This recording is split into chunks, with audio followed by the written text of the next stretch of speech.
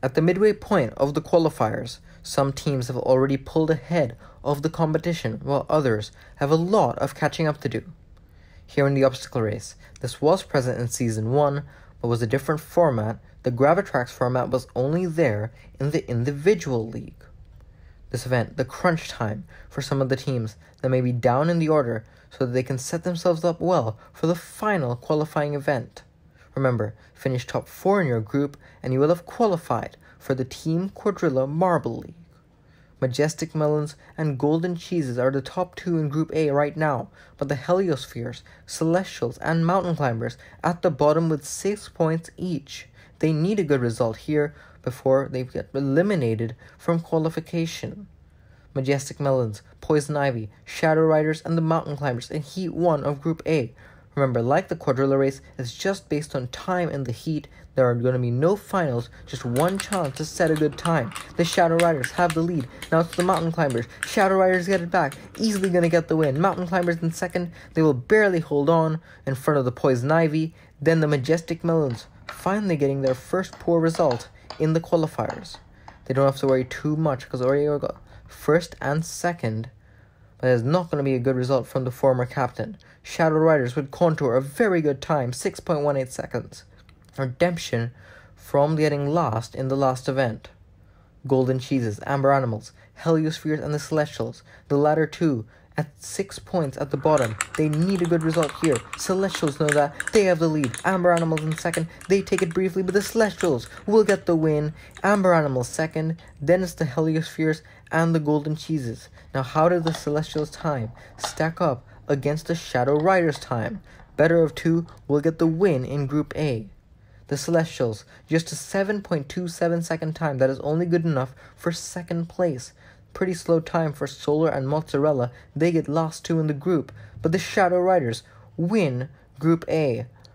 Very good result. They go back up into second place. Majestic Melons hold on. Celestials, Golden Cheeses, Mountain Climbers, and Heliospheres in the relegation zone going to the final event, but it is very close in Group A. As we go to Group B, Sinister Sprinters got two wins in two qualifying events. They're followed by the Olive Orbs and the Treat Fleet, top three in Group B right now, have not qualified for Season 1, looking to get their maiden qualification here in the qualifiers. The Sprinters, Floundering Fish, Team Atlantic, and the Deserter. Deserters have two last place finishes in the two qualifying events. They need a good result here. Floundering Fish have the lead. Now Team Atlantic will get it, and Team Atlantic gets the win. Floundering Fish in second.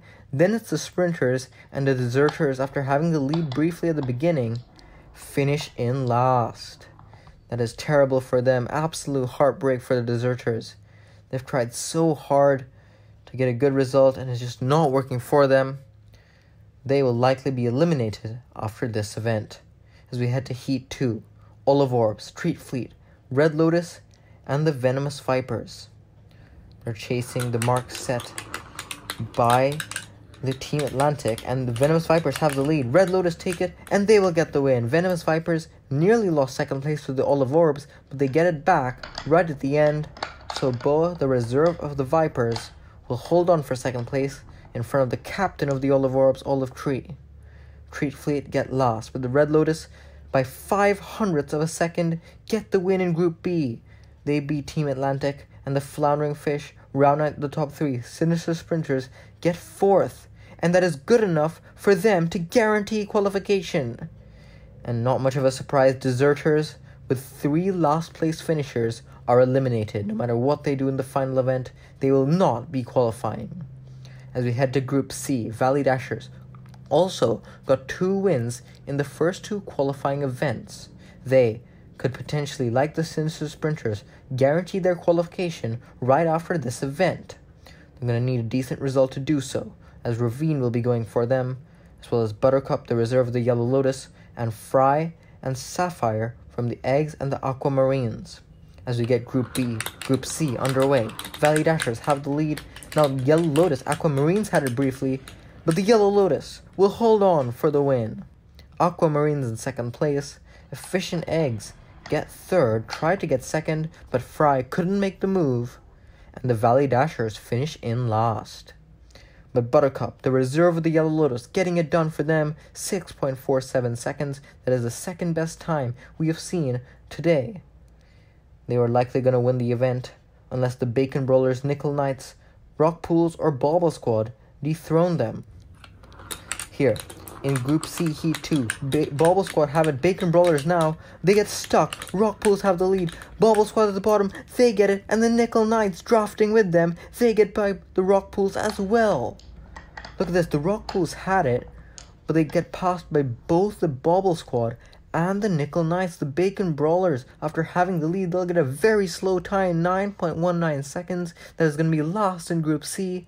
But Yellow Lotus hold on for the win in Group C. Aquamarines in second, they needed that, and the Efficient Eggs get third.